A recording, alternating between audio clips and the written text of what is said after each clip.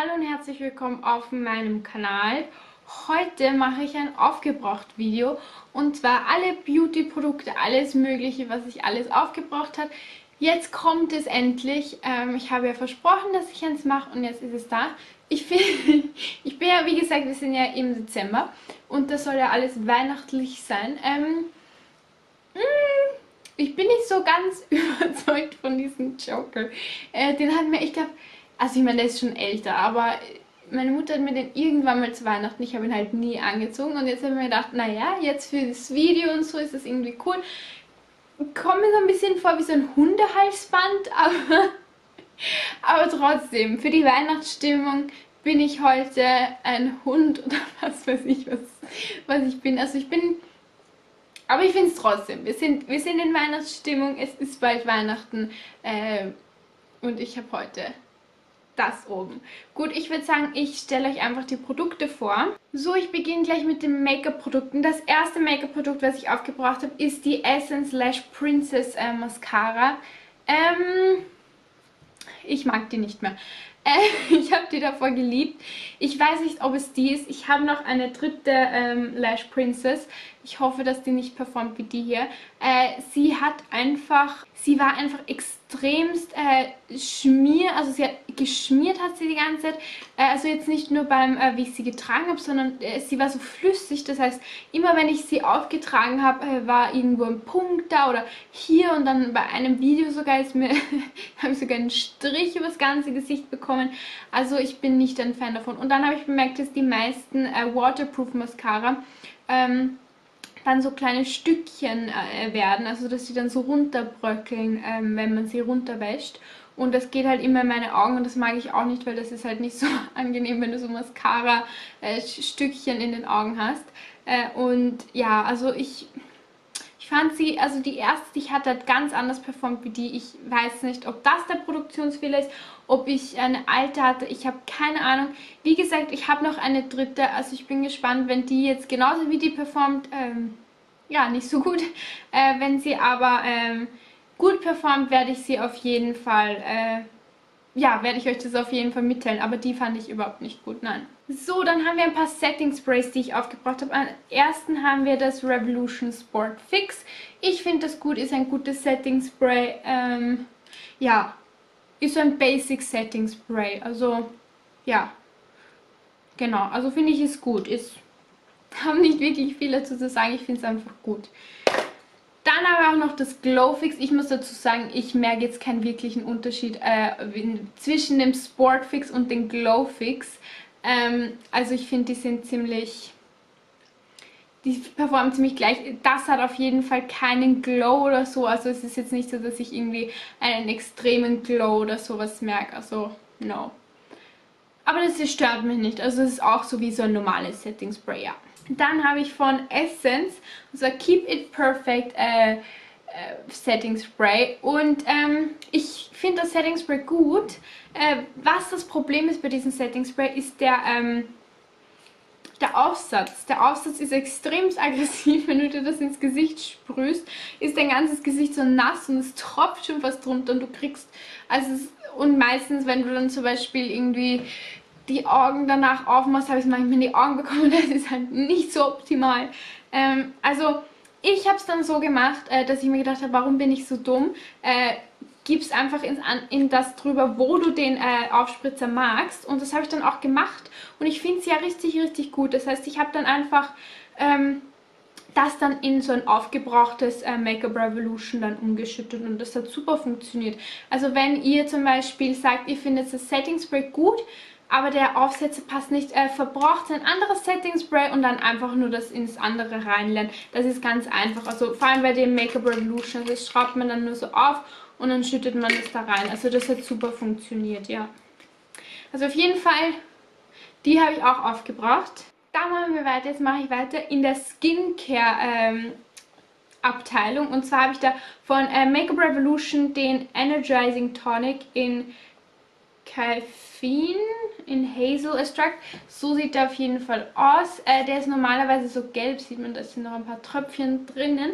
Aber der ist, ähm, der ist gut. Ich mag, ich mag, ich, diese Tonics benutze ich halt immer, vor allem wenn ich äh, nach dem Make-up äh, runterwaschen, wenn man ja oft dann doch noch so ein paar Make-up-Reste hat, damit man das alles eben gut entfernen kann. Für das finde ich das super. Ähm, ja, und deshalb funktioniert das für mich eigentlich sehr, sehr gut. Also ich bin, ich bin zufrieden. Ja, hat gut funktioniert. Ja, also ich mag die. Also ich, ich, ich weiß, ich muss dazu sagen, ich bin ich bin leider kein Skincare-Experte. Das heißt, ich kann euch nicht wirklich sagen, ob das jetzt das Beste für eure Haut ist. Äh, I don't know. Ich, wie gesagt, natürlich ist meistens so, dass wenn äh, du ein teureres Produkt kaufst, dass da meistens mehr luxurious äh, Ingredients drinnen sind. Aber ja, also für mich hat es auf jeden Fall funktioniert. Es hat sich gut auf der Haut angefühlt. Ich habe keinen Ausschlag bekommen und ich habe halt schon, würde ich sagen, so im, im empfindlicheren Hautbereich auf jeden Fall. Aber auf jeden Fall, ich fand das eigentlich ziemlich gut, ja. Dann habe ich auch noch von äh, Revolution Skincare und das äh, CBD Serum Oil. So sieht das aus. Ähm, also ich finde das eigentlich, äh, fand ich das gut. Also es hat... Ähm, ja, also ich mag diese Serums von Revolution Skincare. Das ist nicht das erste, was ich äh, schon probiert bzw. auch aufgebraucht habe. Ähm, ich muss dazu sagen, der Geruch ist jetzt vielleicht nicht unbedingt mein Favorite. Es riecht so ein bisschen nach äh, Pilzen, finde ich. Also ich war immer so mit meiner Oma, wenn ich äh, so Schwammerl suchen gehe oder Pilze suchen gehe, äh, so riecht das ein bisschen. Also, ich weiß nicht, ob ich habe, ich, also wie gesagt, ich habe jetzt keinen wirklichen ähm, Experience mit CBD eigentlich. Also, das ist jetzt nicht ganz so mein Gebiet, aber es ist ja, es ist ja ur im Trend gewesen. Und ähm, ich habe mir gedacht, ja, wird schon gut sein. Das wird ja nicht ohne Grund im Trend sein. Deshalb habe ich es eigentlich auch gekauft. Und ähm, ja, also ich fand es eigentlich gut. Also, ja, also ich fand es gut, muss ich dazu sagen. Ja, aber finde ich gut. Also fand ich gut. Ja. Dann haben wir auch noch, und zwar ist das von derselben Reihe, und zwar ist es auch von Revolution Skincare, die CBD Rich Nourishing Cream. So sieht die aus. Ich finde die ähm, so mittelmäßig. Also ich fand, ähm, wenn du zu viel von der genommen hast, war das in, also wenn du sie generell aufgetragen hast, hat es sich angefühlt wie so ein Film, der auf deiner Haut dann entsteht. Äh, und der war dann halt sowieso matt. Also ich weiß nicht, ich, also würde ich sie nachkaufen? Nein. Ich muss dazu sagen, würde ich den nachkaufen? Ja. Würde ich das nachkaufen? Ja. Äh, Make-up-mäßig, ja, die Setting Sprays würde ich nachkaufen, die Mascara nicht. Äh, und das würde ich, glaube ich, auch nicht nachkaufen. Einfach aus dem Grund, dass... Ähm, ich das nicht so, ich fand das einfach nicht so gut. Also ich weiß nicht, also wenn, das hat so ein Film da einfach hinterlassen, das fand ich jetzt nicht so, ähm, nein, also das ist, hat sich einfach nicht gut auf der Haut angefühlt und hat sich nicht so angefühlt, als würde es meiner Haut irgendwie jetzt was Gutes machen, muss ich dazu sagen. Deshalb würde ich jetzt dazu sagen, ähm, ja, nee, also muss ich jetzt sagen, die würde ich nicht nachkaufen, ja. Aber ich, so schlimm war sie wahrscheinlich nicht, aber also ich, ich persönlich fand das jetzt nicht so der Hit. Also es ist wie diese, also ich habe schon mal so eine Creme und so, das ist dann so, ja, nein. Ja, nein, ist, ist, die, ist die Antwort zu diesem Produkt. Also, nein. So, das letzte Skincare-Produkt, was ich habe, ist von ähm, auch Revolution Skincare. Und zwar ist es die äh, Chocolate Palette, Cho also Cocoa and Oat, Cocoa and Oat, äh, Jake Jamie, äh, Maske. So sieht das leere Produkt aus. So sieht vor allem das Logo auch aus mit der süßen Schokolade. Ich finde, die sind ja ganz, ganz toll äh, vom Designer. Ich habe alle Jake Jamie Masken, aber das ist jetzt die erste, die ich aufgebraucht habe. Ähm, und ich muss dazu sagen, ich finde die gut. Ich, ich die, äh, ich fand die richtig, richtig gut. Also erstens riecht sie so, so toll. Also ich und Schokolademasken, I love it. Also ich finde die richtig, richtig toll. Wie gesagt, äh, sie riecht richtig gut. Ich, ich habe aber auch bei der, hatte ich danach, so wenn ich sie oben hatte, also danach, als ich sie runtergewaschen habe, hatte ich auch so, äh, die Haut hat sich urangenehm angefühlt. So auch so, aber ich glaube, sie soll auch so feuchtigkeitsspendend sein. Ich weiß es jetzt gerade nicht. Aber sie hat sich auf jeden Fall feuchtigkeitsspendend angefühlt. Es hat sich es hat sich frisch angefühlt, es hat sich irgendwie so, es hat sich so angefühlt, als würde ich den ganzen, den ganzen Mist aus meiner Haut einfach rauskriegen. Ob es das jetzt getan hat, weiß ich nicht, aber ihr wisst dieses, wenn ihr fühlt so, oh, das hat sich jetzt gut angefühlt. Und so war das bei der. Ähm, und erster war es eben, es hat so runtergetrocknet und äh, dann wird es eben so steinhart. Du kannst dein Gesicht dann nicht mehr bewegen. Aber danach, wenn das rund, also ich fand die toll. Ich fand die richtig, richtig toll. Ähm, also ich muss dazu sagen, äh, das waren ja auch die ersten ähm, Skincare-Produkte von Makeup Revolution, die ich gekauft habe. Einfach weil ich aus dem Grund war so, Jake Jamie, okay, das ist ein Influencer. Ich vertraue den Influencern, dass sie mir nicht irgendwas Schlechtes für die Haut andrehen. Weil ich meine, das ist ja auch denen ihre Reputation, also Reputation, Reputation, Reputation, die auf dem Spiel steht. Also denen ihre äh, wie heißt, ich weiß nicht wieso, also Reputation, ich hoffe, ihr wisst, was das heißt, ähm, die da auf dem Spiel stand und habe mir gedacht so, ja, also die muss ja dann gut sein. Und dann war auch das Packaging nur süß und die Flavors und alles. Und ich so, okay, muss ich auf jeden Fall haben. Ähm, ja, also ich kann die echt empfehlen. Also ich fand die ganz, ganz, ganz toll. Also ja, richtig, richtig gut. Ähm, und dann riecht sie, oh, sie riecht urgut. Also ich fand sie echt, echt gut. Ich habe ungefähr aus der Maske habe ich ähm, fünf, äh, fünf äh, Anwendungen rausgebracht, wenn das für euch interessant ist. Ähm, ich habe aber auch den Hals mitgemacht. Also das ist vielleicht auch, dass ihr das in Erwägung zieht. Also ich, das ist auch immer wichtig, der Hals ist auch, sollte auch mit dabei sein. Ähm, und genau, das heißt, also fünf, fünf Anwendungen habe ich aus, diesen, aus dieser kleinen Glascontainer rausbekommen. Also ja, aber wie gesagt, ganz, ganz toll. Ich glaube, das beste Produkt, was ich dieses Monat äh, aufgebraucht habe, ja. Mein Favorite, yes. Dann haben wir noch zwei Körperprodukte. Ähm, und zwar habe ich äh, das Deo aufgebraucht von Balea in Soft Orchid. Äh, das war vielleicht auch so ein Grund, ich wollte das aufbrauchen, äh, weil ich diesen Duft überhaupt nicht mochte. Ähm, ja, es war halt so ein bisschen so...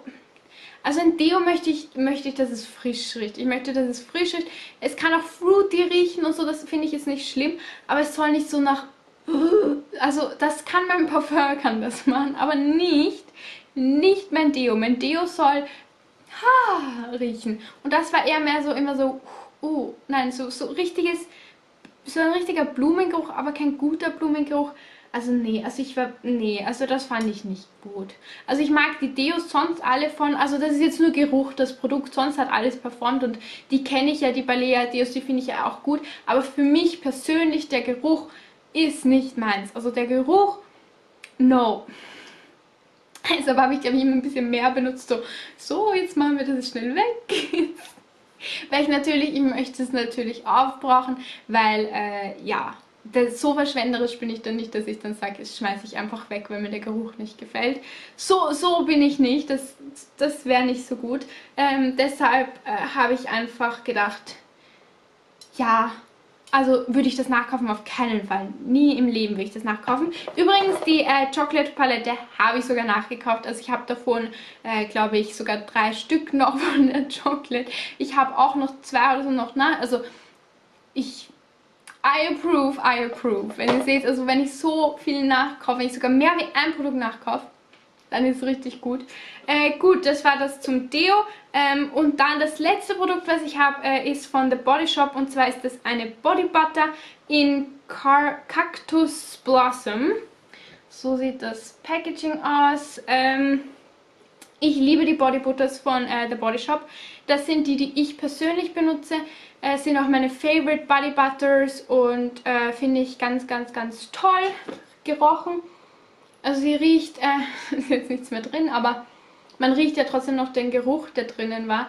Äh, Sie riecht frisch, aber ich muss dazu sagen, ich habe noch nie jetzt von der Body Shop irgendwie eine schlechte Body Butter gehabt. Das ist natürlich auch persönlich, ob man den Geruch und so mag. Aber sonst, also wenn ihr schon euch überlegt habt, so möchte ich eine Body Butter von äh, The Body Shop, sage ich, äh, go for it. Ich finde sie ganz, ganz toll. Ich finde sie sind auch sehr ähm, ausreichend, weil die habe ich auch schon länger gekauft. Und ähm, ja, also ich finde die ganz, ganz, ganz toll.